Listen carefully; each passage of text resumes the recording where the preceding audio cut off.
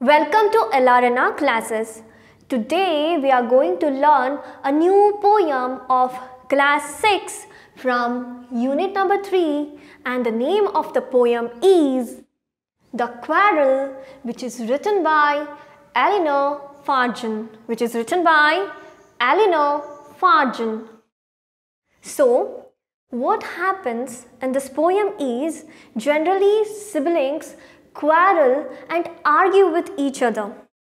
They keep on arguing with each other.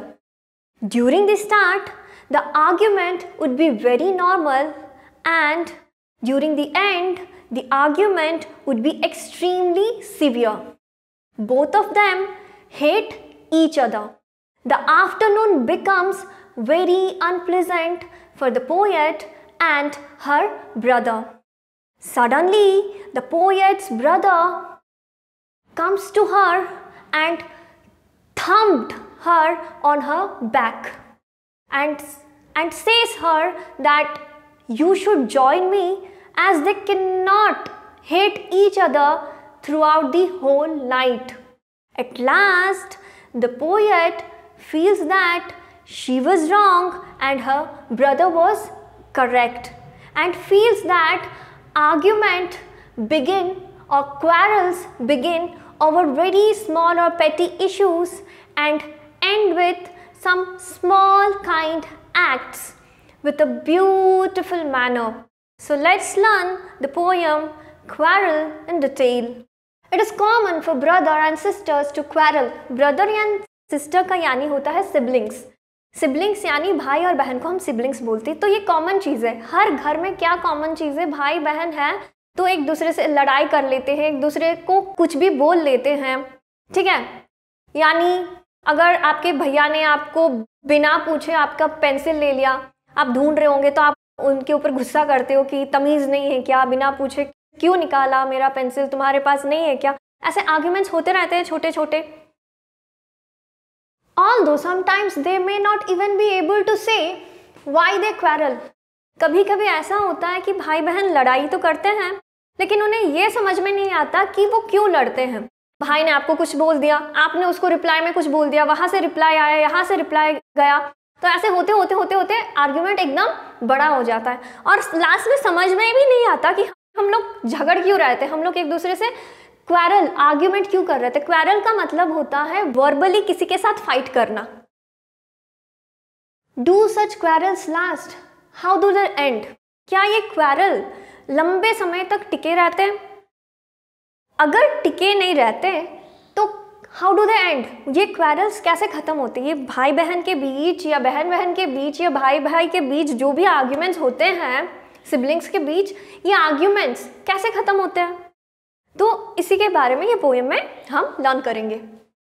I quarrel with my brother I don't know what about one thing led to another and somehow we fell out the start of it was light the end of it was strong he said he was right I knew he was wrong We hated one another. The afternoon turned black. Then suddenly my brother thumped me on the back and said, Oh, come along.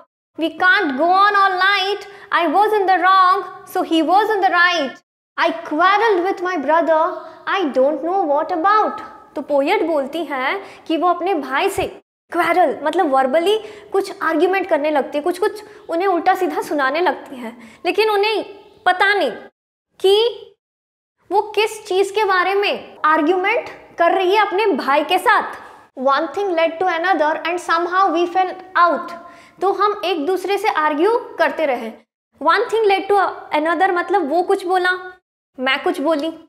वो कुछ बोला poet कुछ बोली तो उनके भाई और इनके बीच बस आर्ग्यूमेंट बढ़ते रहा and somehow we fell out fell out मतलब और भी ज़्यादा तीव्र हो गया। Somehow the argument became more severe fell out means बहुत ज़्यादा सीवियर हो गया। The start of it was slight the end of it was strong जब आर्गूमेंट स्टार्ट किया था ऑथर ने तो वो जो स्टार्ट था, एकदम नॉर्मल सा स्टार्ट था। जब ये आर्गूमेंट ख़त्म होने वाले को था तो ये आर्गूमेंट क्या हो गया? एकदम एक्सट्रीमली सिवियर हो गया, एकदम स्ट्रांग हो गया। पोएट बोल रही है कि हम दोनों के बीच मतलब पोएट और उनके भाई के बीच में जो आर्गूमेंट हुआ, उसका स्टार्टिंग एकदम नॉर्मल था, लेकिन जब खत्म होने को था तो एकदम दोनों एक दूसरे के ऊपर चिल्ला रहे थे, एकदम एक्सट्रीम हो गया। He said he was right I knew he was wrong poet बोल रही है कि उनके भैया ने उनसे बोला he said I was right मैं सही हूँ। तू जो लड़ाई कर रही है ना, तू गलत है। I knew he was wrong poet बोल रही है, मैं सही हूँ, मुझे पता है वो गलत है। तो दोनों को ये लग रहा है कि वो खुद सही है और जो ओपोनेंट है, वो गलत है। तो दोनों दूसरे को गलत साबित कर रहे हैं और खुद को सही बोल रहे हैं। सेकेंड स्टैंडा में क्या होता है we hated one another the afternoon turn black हमने एक दूसरे को बहुत हेट किया मुझे वो पसंद नहीं है और भाई को भी मैं पसंद नहीं हूँ।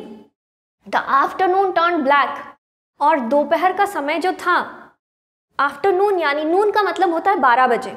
बारह बजे के बाद जो भी समय आता है, वो हो जाता है आपका आफ्टरनून तो दोपहर का समय एकदम दोनों के लिए टर्न बैक ब्लैक का मतलब एक्सट्रीमली बैड दोनों के लिए बहुत ही खराब रहा, क्योंकि भाई बहन तो घर में हैं, एक जगह है, लेकिन एक दूसरे से बात नहीं कर रहे हैं, एक दूसरे को देख भी नहीं रहे हैं।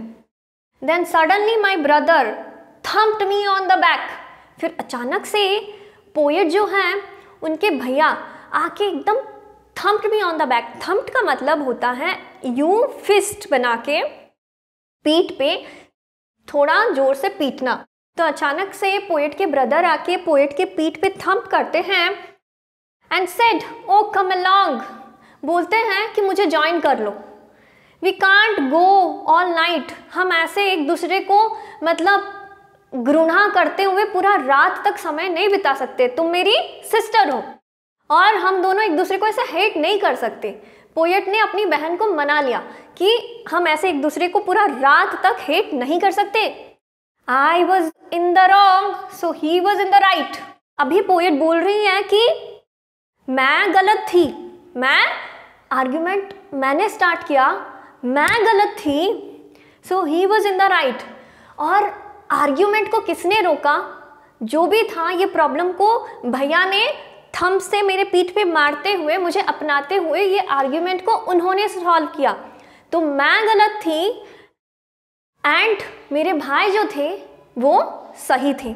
So this is all about the poem the quarrel which is written by Eleanor Farjeon and if you get any value from this video, please like it, share it, and if you are watching our channel for the first time Please subscribe our channel to get the latest notifications related to educational content of West Bengal Board, Odisha Board, CBSE and ICSE courses.